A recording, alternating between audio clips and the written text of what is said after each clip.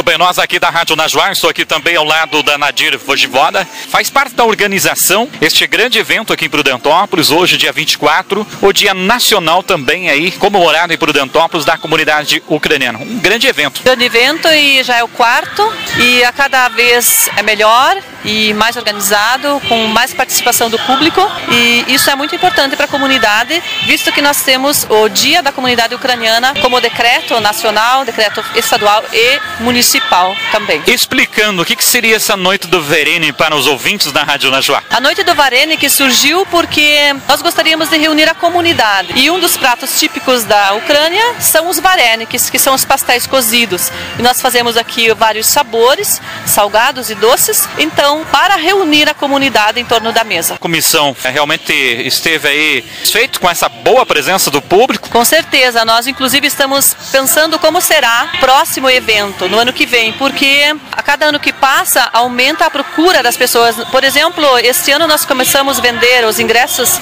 na segunda, na quarta-feira não tinha mais nada. Então nós estamos pensando como vamos fazer para acolher mais pessoas. Mas que também essa presença da cantora, né? Você vai falar o um nome aqui, né? Que eu, né? Você pode falar melhor o nome dela, que esteve fazendo um, um espetáculo, realmente um show maravilhoso. É, nós, come... nós na verdade começamos o ano passado a trazer cantores internacionais, da Ucrânia principalmente.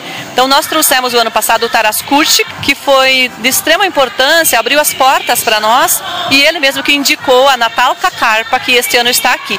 Ela é uma cantora de renome internacional, já cantou em mais de 20 países, ela é muito conhecida na Europa e graças a Deus conseguimos trazer a Natal Kakarpa para cá. É, gostaria de completar que ela tem uma turnê uh, por ocasião da, do Dia da Comunidade Ucraniana aqui. Ela também vai se apresentar em Foz do Iguaçu no, na sexta-feira, agora dia 30, e já na sequência, no sábado, ela vai se apresentar em Encarnação, no Paraguai. Também lá tem grande concentração de, de ucranianos. Diretamente de Prudentópolis, sobre o Dia da Comunidade Ucraniana para a Rádio Najuá, repórter Hélio Corrute. Intervalo da notícia. Aqui as informações têm credibilidade e imparcialidade. Anuncie aqui seja nosso parceiro.